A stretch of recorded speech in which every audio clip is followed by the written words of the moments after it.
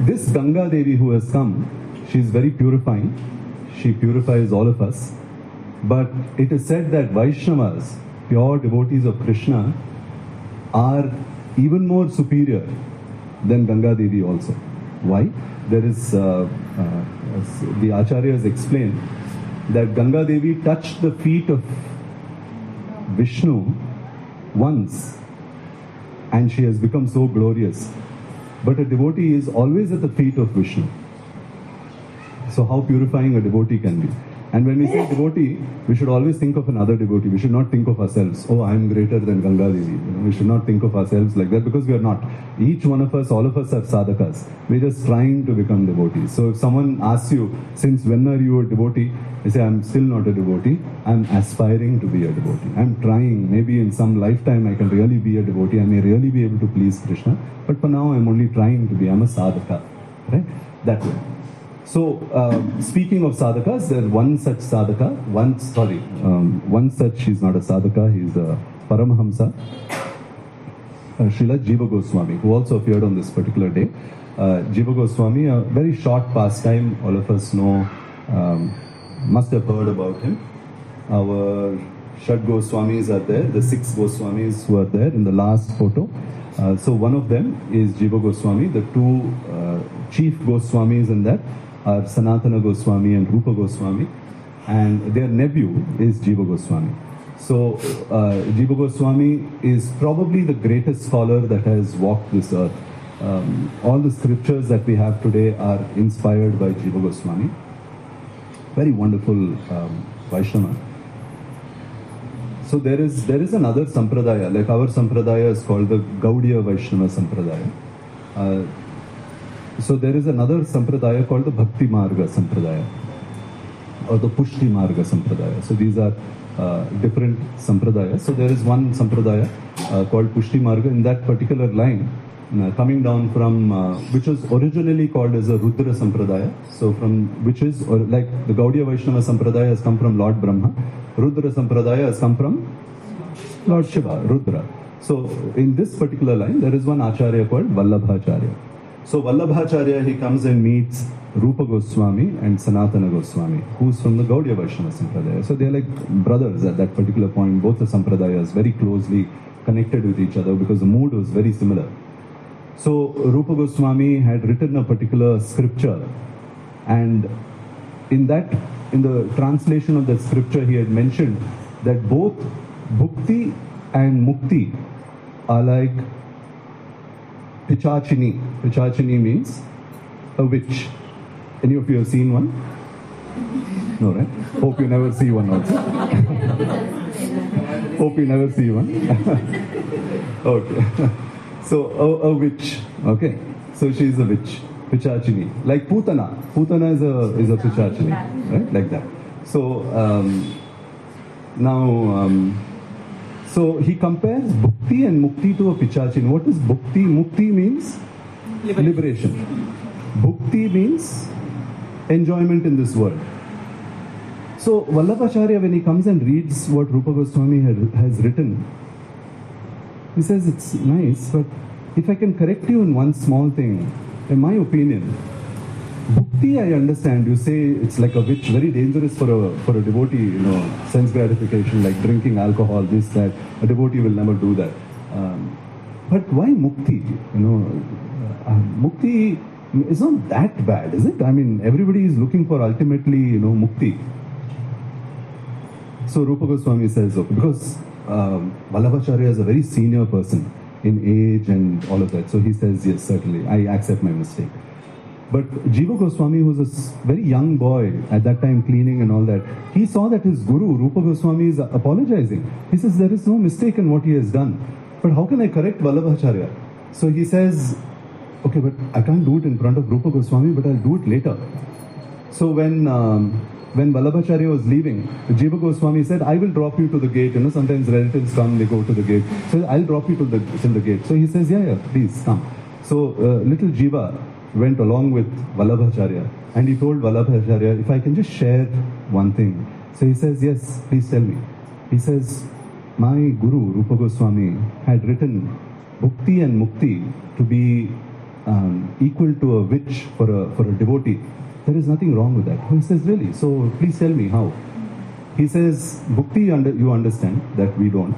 But Mukti also, what is Mukti? Mukti means the Advaita Mukti is when a jiva, after we die, the soul merges with Brahman. You and Brahman become one. There is no difference. Just like a drop of sea water enters the sea and then it is one with the sea. That is called as Mukti. So he says, even this Mukti is very dangerous for a Vaishnava because we don't want Mukti also. Because the moment I have Mukti, I'm one with Krishna, then where is the opportunity for me to serve Krishna? I will not be able to, I don't want to become Krishna. I don't want to become one with Krishna. I want to always be in the service of Krishna. And that is why that is even more dangerous than Bhukti. Mukti is even more dangerous than Bhukti. And Vallabhacharya, he got this perspective from Jiva Goswami. He says, You're absolutely right. Because you see, this is how great uh, sadhus are. Not like people who fight on YouTube comments and all that. Nothing like that. Because the moment he, you tell him, give him a new perspective, this is called intellectual humility. They will accept it. They say, yes, your, your perspective is better than mine. So he says, thank you, thank you for this. He accepted that from a small boy, Jiva Goswami. And he goes away. And he comes back the next day and he meets Rupa Goswami. And he discusses, he says, you know, uh, they had some discussion. And after that, he tells him, you know, that boy who is here, Jiva, take very good care of him. So Rupa Goswami said, yeah, uh, but why? He says he's a very great scholar. He gave me a perspective yesterday about I found fault in yours. Why didn't you correct me? You know, he corrected me so nicely. So Rupa Goswami said, okay, I apologize if he has crossed any line or anything. So he he says, no, no, no, not at all. I'm not at all offended. And he goes away after that. And Rupa Goswami calls Jiva Goswami that day, and he tells him that uh, they were living in Vrindavan they said, uh, Rupa Goswami told Jiva Goswami, you have no qualification to live in Vrindavan. He said, but what did I do? He says, you dare to correct a superior like Vallabhacharya. You dare to correct him. You think I couldn't have corrected him? So he, is, he just gave his perspective. Who are you to correct him? You're a student. You're supposed to be here and do your service. This is not, this is not the right mood. So um, Jiva Goswami did not argue. For you, I did this. If we were there, we would have done that. No, he told, I told. Oh, what? but uh, not Jiva Goswami. Uh, Jiva Goswami did not do that. He immediately said, "Yes, I'm a fool. I uh, I shouldn't have done that." And uh, I maybe I was only trying to show off that I know something great, and you know, I it's punishable. He says, "Yes, a, a Vrajavasi, a true resident of Vrindavan, should not have this mood." So immediately, I banish you from Vrindavan go away. So he goes away from Vrindavan and he stays in Mathura. But after this, he did not, uh, you know, just joyfully live there, eating and enjoying. There, so much work, sweeping, cleaning. Uh, here, I'll just enjoy. No, nothing. He stopped eating, and he stopped sleeping. And in in course of time, it was nearly one year. He would eat very little, little bit of buttermilk, little bit of this that and he had become very lean. He was just skin and bone. And he was always crying and always weeping.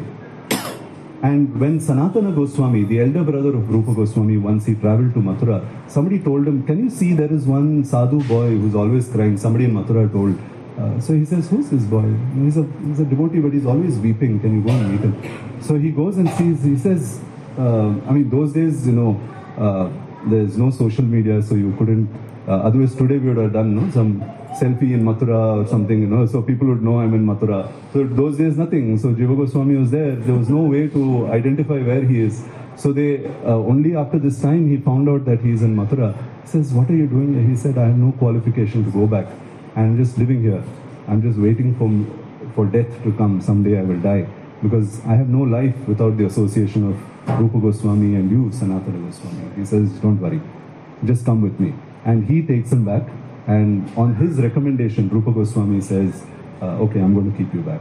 And Rupa Goswami also had tears in his eyes, and is, it is also true that Rupa Goswami himself uh, ate very little because he could not also eat without the association of Jiva Goswami. Then why do something like this? It is because Rupa Goswami is perfect, Vallabhacharya is perfect, Jiva Goswami is perfect. But all of them together are teaching us lessons about etiquette, about character, about how we need to conduct ourselves in front of our, our elders and, and our teachers and our superiors.